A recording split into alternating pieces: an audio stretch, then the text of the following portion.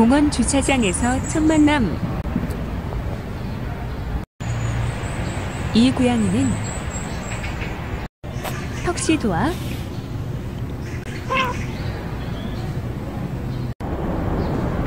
큰 냥이를 닮은 듯하다. 요즘은 여기에서 냥이를 볼 수 없는데 오랜만이다.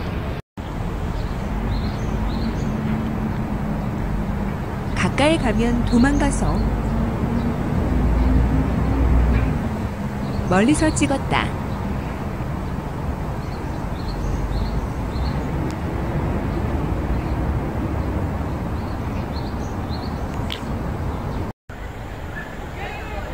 (5월 26일)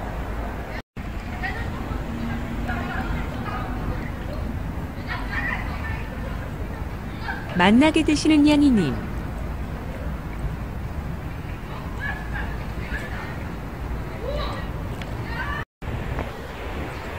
(5월 27일) 여전히 경계에서 멀리서 지금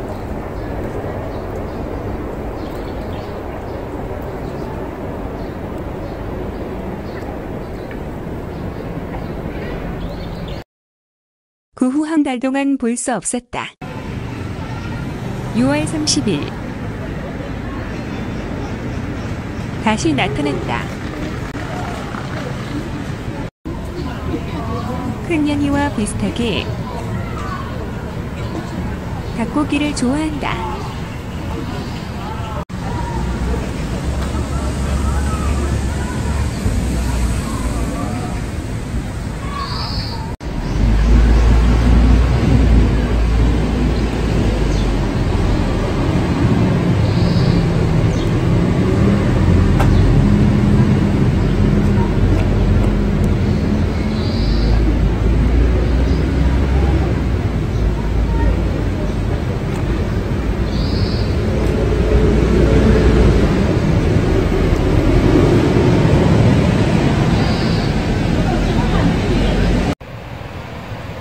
나를 보면 따라오지만 그렇다고 가까이 오지는 않는다.